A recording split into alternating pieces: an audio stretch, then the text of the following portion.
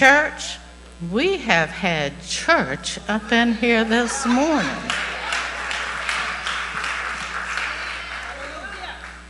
The minister has been ministered to.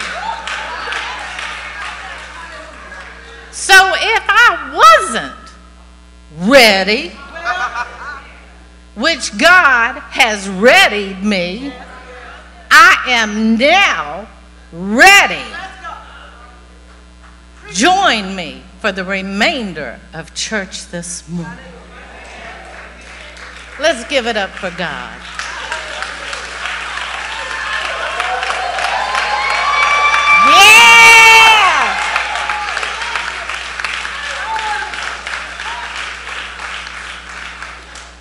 You know, you sit here and you wonder sometimes when you prepare a sermon what God has in store for his people. And every time I've stood before you, I've had confirmation before I stood up to deliver the sermon. I hope you listened to the words that you were ministered to today. My sister said, There's no turning back. My sister prophesied to us, There is no turning back.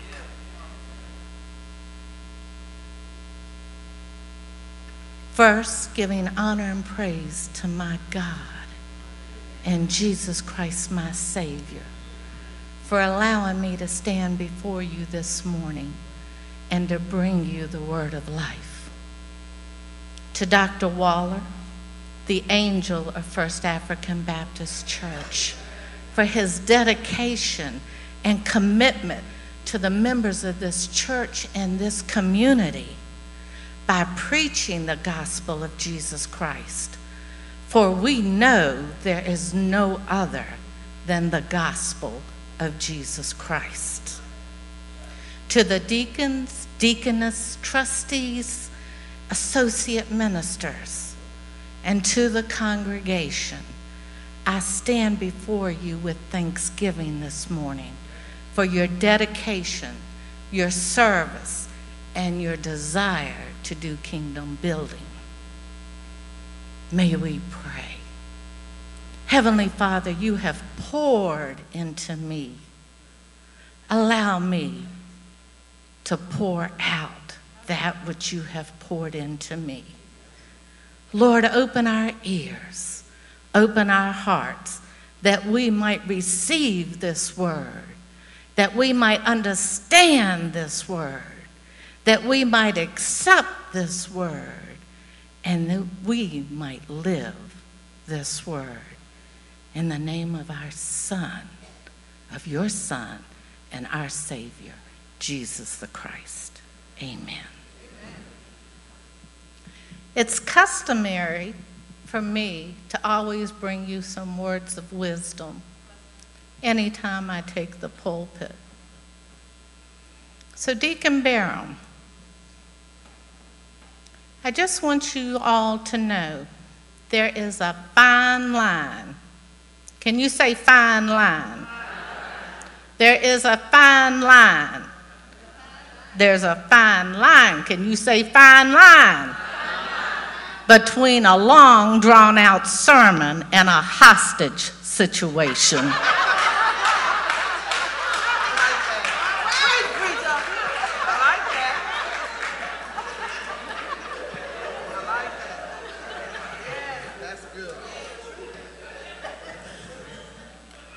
So I have people that will let me know when they feel hostage.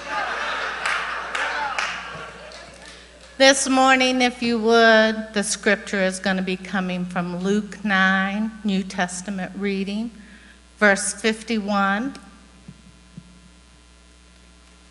and 57 through 62. When you have it, say amen.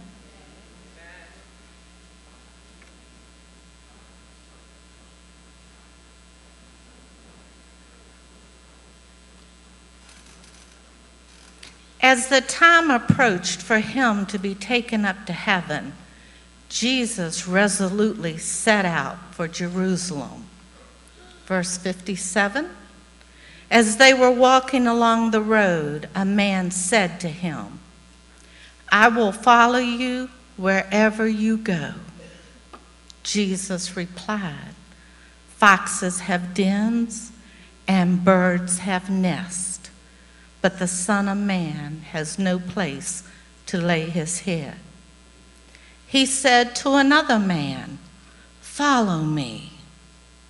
But he replied, Lord, first let me go and bury my father. Jesus said to him, Let the dead bury their own dead, but you go, but you go and proclaim the kingdom of God. Still another said, I will follow you. I will follow you, Lord. But first, let me go back and say goodbye to my family. Jesus replied, No one who puts a hand to the plow and looks back is fit for service in the kingdom of God. You may be seated.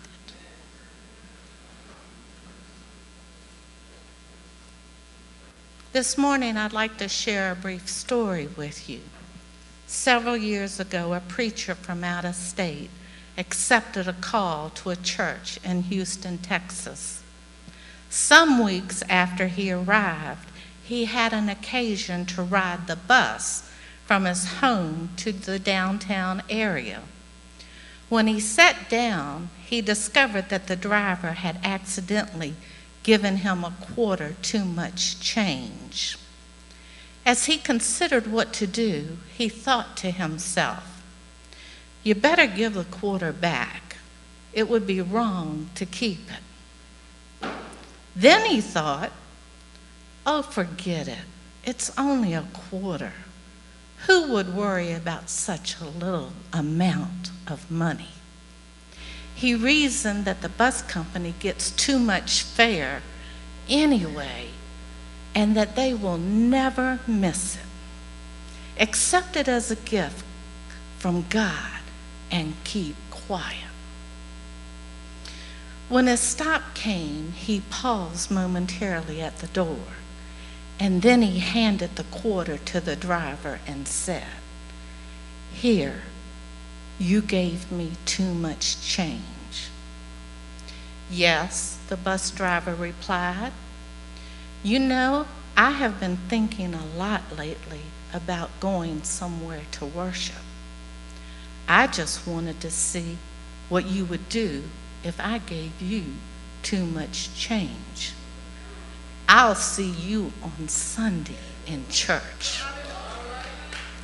When the preacher stepped off the bus, he literally grabbed the nearest light pole, held on, and said, Oh God, I almost sold your son for a quarter.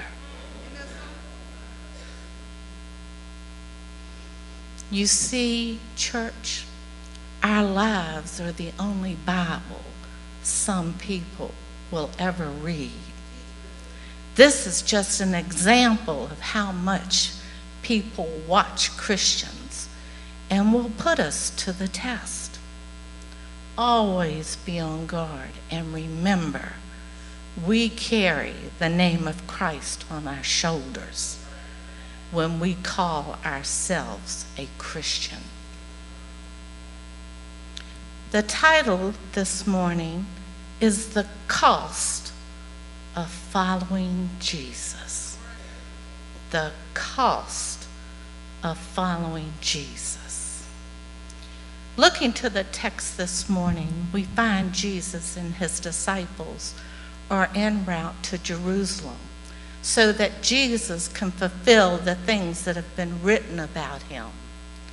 The words in verse 51, taken up to heaven, clearly refers to Jesus' ascension, but it also refers to all that will happen in Jerusalem, including Jesus' death, resurrection, and ascension. Jesus encounters not one, not two, but three men on his travels that indicate a desire to be a follower of his. Three men, each with a different level of commitment, and each one receives a different response. So I want to ask you this morning, church, what is the difference between a Christian and a disciple? Don't get quiet on me now. What is the difference in a Christian and a disciple? The term Christian and disciple are related but not synonymous. A Christian is someone who has placed their faith in the Lord Jesus Christ. They have been born again by the power of the Holy Spirit. A Christian belongs to Christ and, his daily, and is daily being transformed into the likeness of Christ. A disciple is a follower, someone who adheres completely to the teachings of Jesus and making them his rule of life and conduct. The Greek term for disciple in the New Testament is mathetes, mathetes, which means more than just a student or learner. A true Christian, meaning belonging to Christ, will have to be a disciple of Christ as well. Discipleship requires trusting God in the midst of rejection. Can you say that, church? Discipleship requires trusting God in the midst of rejection. So you ask, what does that mean, Minister Cat? Isn't it enough just to be a Christian? Well, I'm glad you asked. The call is to go and proclaim the kingdom. The ministry of proclamation is not limited to just a few. A disciples' ministry is one of proclamation and service. We are to serve God in dependence, resting in provision. Yes, Jesus had an inner circle, but the call of a ministry was not theirs alone. Disciples are called to preach hope of the kingdom. This is a responsibility. This is a responsibility of all disciples. We live in an age when marketing and public strategies often determine how the gospel is shared. The gospel is not a consumer oriented product. To be a disciple means one has counted the cost and has totally committed his life to following Jesus. One accepts the call to sacrifice and follows wherever the Lord leads. Now, see, y'all done gotten too quiet up in here for me today. I use the word sacrifice, follow, and leads. And some of you have already left me in the sermon. Christ is your number one priority, and you will be actively involved in making other Christians disciples. I can't find one place in Scripture where Jesus ever used the term Christian. But I can find where he used the term disciple. Can we say we're working on getting it right? I need some sincerity. we're working on getting it right. Jesus never commanded in the Gospel of Matthew in the Great Commission to go out and make Christians, but he commanded to make disciples of all nations, baptizing them in the name of the Father and of the Son and of the Holy Ghost. This commission is not a suggestion, it is a command. The cost of following Jesus. You see, my brothers and sisters, our salvation is free, but discipleship will cost you your life. That's right. You heard me correctly. Salvation is free, but discipleship will cost us our lives. This means to be a disciple of Jesus, we have to give up our lives in order to follow him. Our lives are no longer our own. Our lives belong to Jesus. Earlier in Luke 9, verse 23 through 26, Jesus puts it bluntly and to the point. He said, Whosoever wants to be my disciple must deny themselves and take up their cross daily and follow me.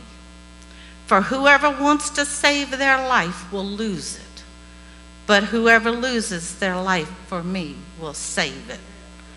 What good is it for someone to gain the whole world and yet lose, and yet lose or forfeit their very self? Whosoever is ashamed of me and my words, the Son of Man will be ashamed of them when he comes, when he comes in his glory and in the glory of the Father and of the holy angels.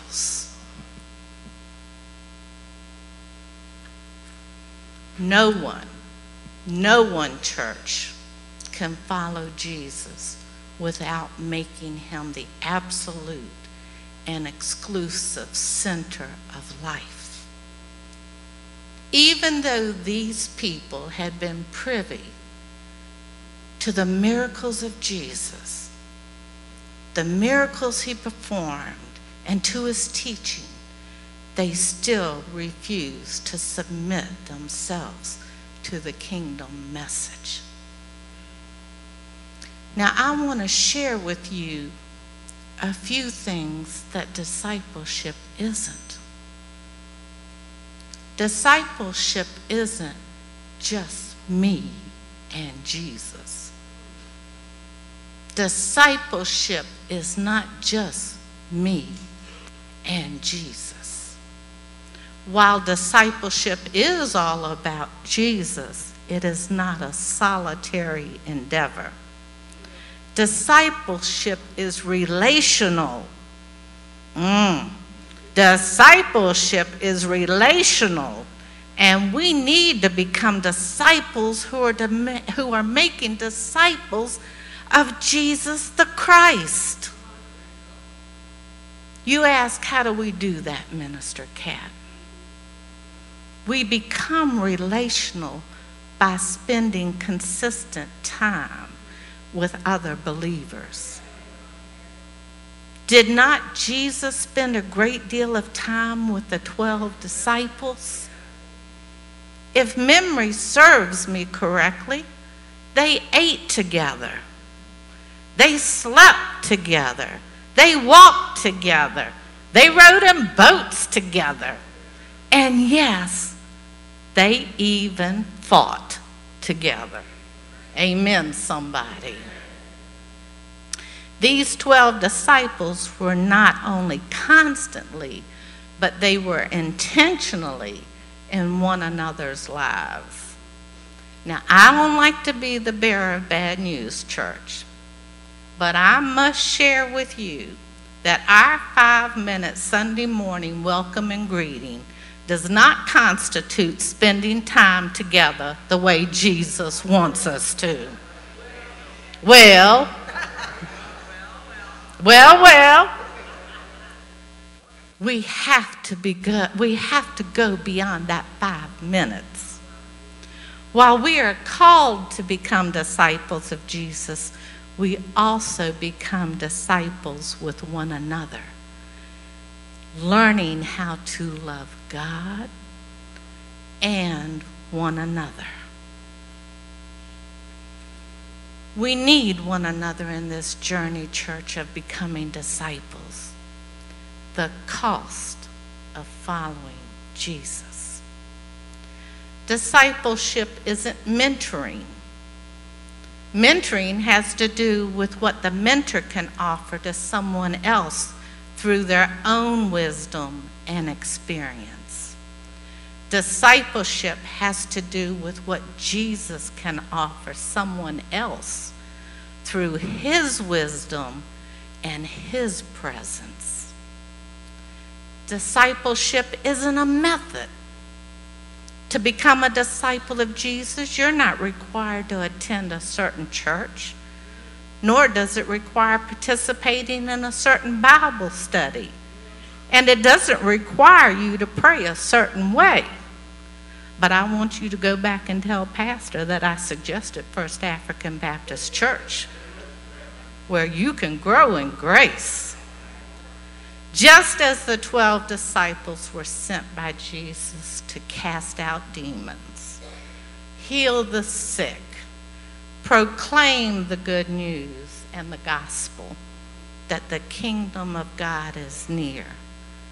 People, that responsibility has not changed for us. We are still required to do kingdom things Jesus was a sojourner and a non resident alien. And from time to time, people would come up alongside of him and engage in conversation, just as we see in these scriptures this morning. In verse 58, a man approaches he says, I will follow you wherever you go in 57. And Jesus responds, Foxes have dens and birds have nests, but the Son of Man has no place to lay his head. Jesus' response was not encouraging. Jesus had already left his own home, his own family in Nazareth, to carry out his mission. In his journey, he only stayed for short periods of time and then continued to travel, never knowing where he was going to be laying his head or where his next meal would be coming from. His life involved setting his face toward Jerusalem and not turning back. Here, a man says to Jesus, I will follow you wherever you go, not realizing that Jesus was on his way to Golgotha. I'll call him the opportunist. I want you to take notice that Jesus doesn't reject this man or turn him away. Instead, Jesus warns him of the cost and sacrifice involved in following him. Certainly, this man had heard the teachings and seen the miracles of Jesus. However, this man is more interested in what he can get out of the relationship than what he can offer the relationship. He expects an easy life by following Jesus. Jesus, all throughout Scripture, lets us know that the world is not his home and he is just passing through. His was not a life of luxury. Many of us think that following Jesus should be easy. We want our Christianity to be like that as well, don't we? We say we are ready to run the race. We say we are eager to count the cost. We say we are prepared to suffer. We say we are willing to carry the cross. But are we really ready? Are we really ready, church? Following Jesus can be hard. There is a cost involved. This is a truth we need to understand and consider. Matthew 19, verse 29, there is a promise of God. And everyone who has left houses, or brethren, or sisters, or father, or mother, or wife, or children, or lands for my sake shall receive a hundredfold and shall receive and inherit eternal life. That should have been an amen from somebody in here even if it's from me. In verse 59, Jesus looks at a man and says only two words. Two words. Follow me. The man replies, Lord, first let me go and bury my father. I'll call him the hesitator. This man does not say his father has just died, people. In the culture of the day, when a person died, they were buried the same day. They did not wait around. When death presented itself, they moved quickly. In Judaism, burying family members is a priority. If that had been the case, would the man not be at home making preparation for his family's funeral instead of being in the company of Jesus? In all probability, the father was not even sick, lest the son be by his side. The man's response is one of which I believe to be that he has responsibilities to his father as long as his father lives. He is not free right now to follow Jesus, but when his father dies, then he'll be ready right away. Jesus told the man to let the dead bury the dead, and for him to go and proclaim the kingdom of God. Jesus is speaking figuratively here of the spiritually dead, those who have put off following Jesus. It's the spiritually alive that are being called to follow Jesus. Jesus is saying in the strongest possible way that following him must come, must come before every responsibility we have. We do not choose when to follow Jesus. Discipleship is a now thing, it is immediate. No excuse we can offer is adequate to put on hold Jesus' compelling summons.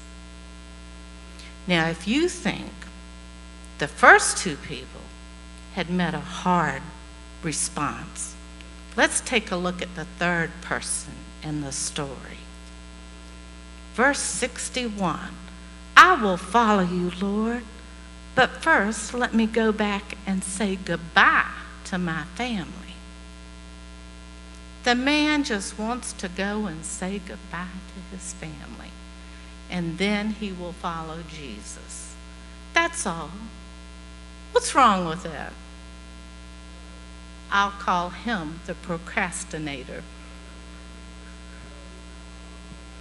Maybe I can help you understand this way. It's like a man who's been drafted into the military.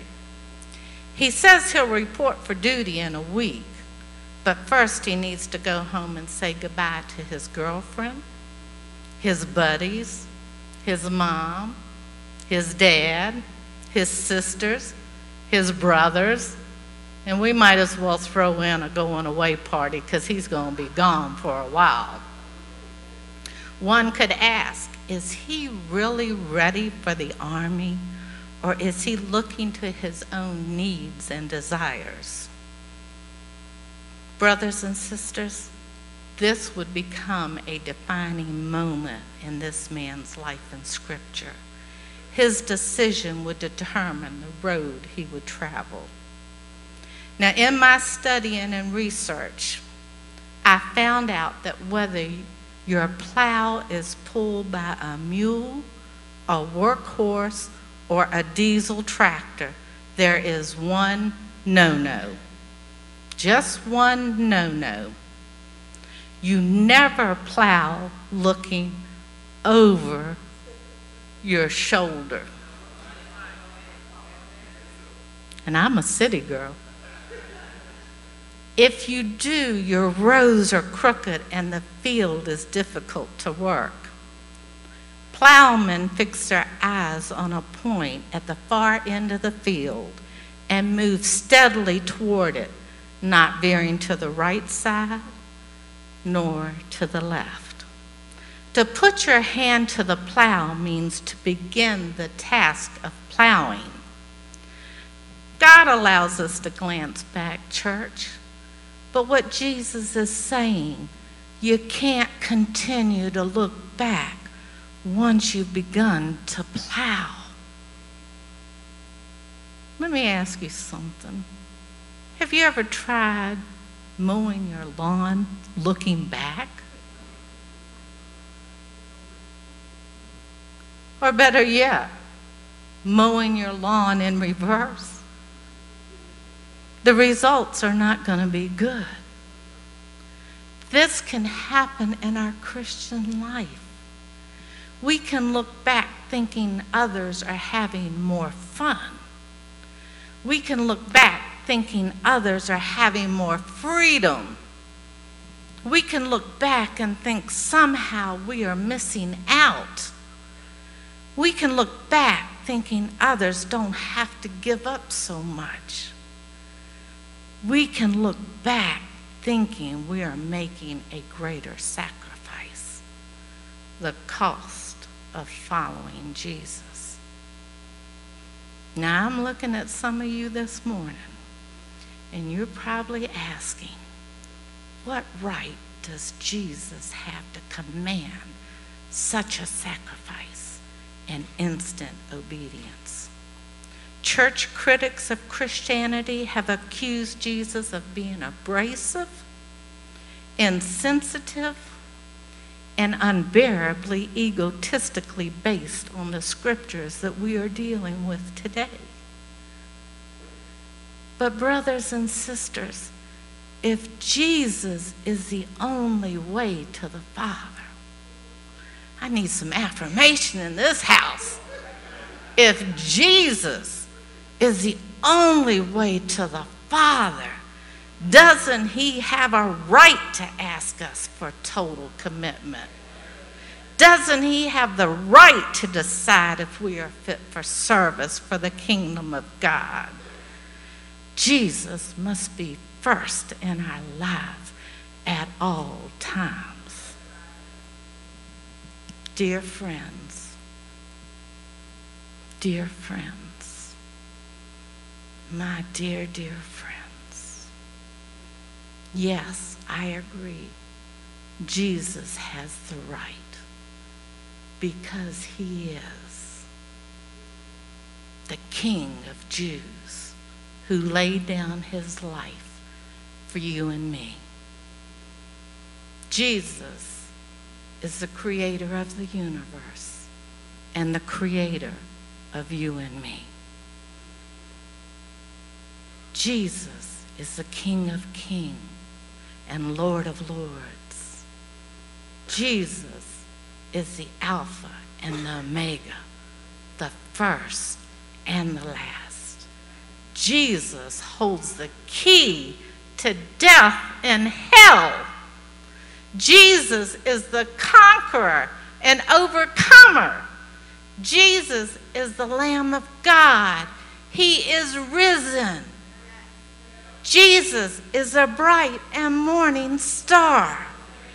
Jesus' name is higher than any other name. Glory. He is the one and only true living God. In closing, he still humbles himself to come looking for us and to speak to us. Do you hear him calling? Is he knocking on your door? What could possibly be more important right now than going immediately to the door and opening it so Jesus can come in? You see, some of us have accepted the free gift of Christianity, becoming the Christian, but not all have accepted the call to discipleship. I pray this morning that if God is talking to you, that you listen because he's pricking your heart. There's more to do. There's more to do, church. If you please stand this morning.